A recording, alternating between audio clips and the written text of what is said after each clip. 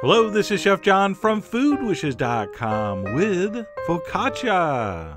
That's right, I can't believe I have not made this yet. It is so easy, so delicious, and extremely dimpled. And unlike the chin of your favorite action movie star, these dimples are not just for looks. They're going to serve several very important purposes. But you know what? We're getting ahead of ourselves. Before you can dimple dough, you have to make dough to dimple. So that's where we're going to start here. We're going to add one package of dry active yeast to a bowl.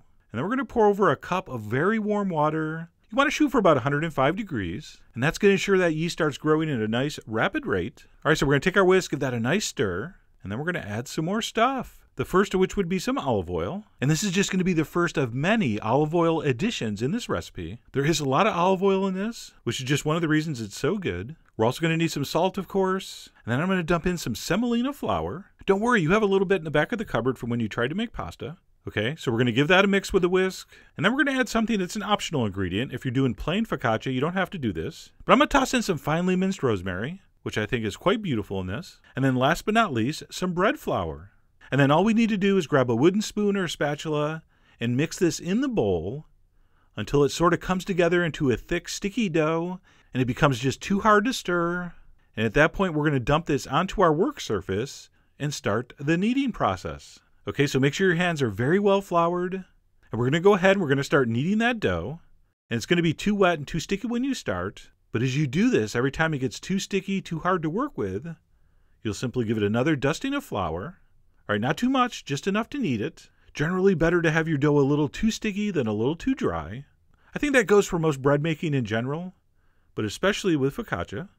And as soon as we knead it smooth, and it just starts to get a little bit elastic, and it looks something like that, which probably took about two or three minutes of kneading to achieve. We're going to stop and we're going to knead in some olive oil. All right, so the original base of the dough has olive oil, but we're also going to introduce a couple tablespoons during this kneading process. So I'll do this in two additions. I'll drizzle over about a tablespoon, all right, both sides, and I'll knead that in. And once that's completely disappeared, I'll knead for about another minute. Then I'll usually give it a little more flour if it needs it, or if yours doesn't, don't. But mine was feeling just a little too soft and sticky. And once all that's been kneaded in, and it is soft and smooth again, we will introduce the last of the olive oil, and then same drill, just keep kneading and kneading. Again, only adding additional flour if it gets too impossible to work with. And after about seven or eight total minutes of kneading, you should have a very soft, supple, sticky, and incredibly sexy dough. It should be fairly elastic. If you poke your fingers and it just leaves a big dent, you need to work it a little more. But right there, mine was perfect. All right, at that point, we're going to take a bowl, we're going to drizzle in some olive oil, we're going to throw the dough in, drizzle over more olive oil. And I warned you about the olive oil, it's a recurring theme. So we're going to coat that generously. We're going to make sure the entire surface is totally covered. I'm going to pat that down a little bit. We're going to cover that with foil and we're going to let that rise in a warm place for about an hour or until it doubles. Now, I do mine in the oven. The oven's off, of course. And mine took about an hour, hour 15 minutes. Yours might take two hours. Who knows? But when you're done, it's going to look like this. Next, I want you to lightly oil a sheet pan with a little bit of olive oil. And then we're going to dump our dough on the pan.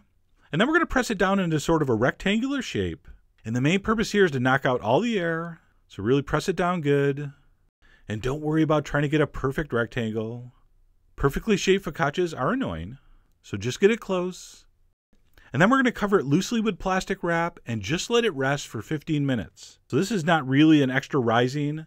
We're just going to let it sit covered for 15 or 20 minutes. And yes, it will rise up a little bit, but we were mostly just letting the dough relax. And at that point, yes, you guessed it, more olive oil. We're going to drizzle on olive oil all over the surface. We're going to spread it around lovingly with our fingertips.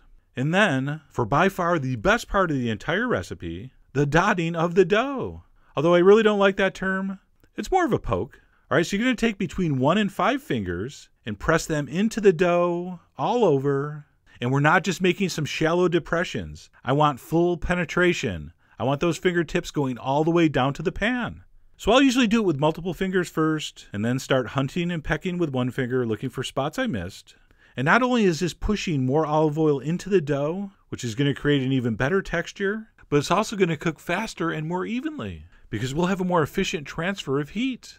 And once we have an absolute and complete poking of the surface, I'm going to go ahead and put that back in the oven. Again, the oven's off. This is just for rising. And we're going to let that proof for about 45 minutes or until it looks like that. It should just about double in size and it should look incredibly interesting. People that don't cook don't get to see things like this. I mean, how sad is that? So maybe if you do make this, invite a friend over who you think has never baked in their life and watch their face light up. That's a fun thing to do once in a while. Now, at this point, you're going to preheat your oven to 475 because we are in the final stages. So to finish this off, I'm going to sprinkle the top with some more finely minced rosemary. And then, yes, you guessed it, one last olive oil application. But this time you got to be really careful. I'm just dripping a little bit, brushing it very, very lightly. I'm just using the tips of the brush. And yes, a little bit of olive oil will well up in those little dimples. Perfectly normal and desirable. And then last but not least, traditionally these are dusted with some sea salt and you want to use something that has a nice big flake to it. And because it is such a large grain salt, it looks like we're putting on a ton, but it's really not that much. So give it a decent sprinkling with the sea salt, and then you're going to pop that in your very well preheated 475 degree oven for 15 minutes or until it looks like this. I'm predicting it's going to be golden brown and incredibly gorgeous, but let's not stand around patting each other on the back. Let's go ahead and take a brush, and while it's warm, brush on just a little more olive oil. And I know what you're thinking. We've already applied olive oil five times. Do we really need it applied a sixth time? Yes, yes, you do.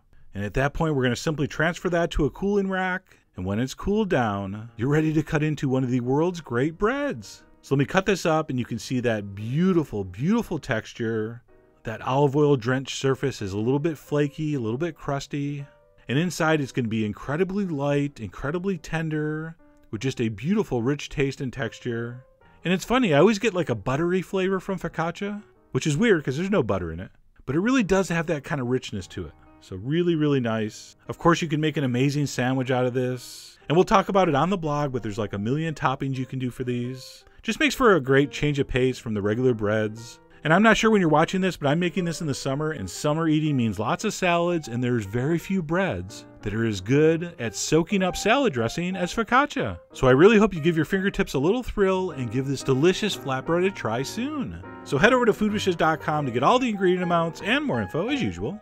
And as always, enjoy.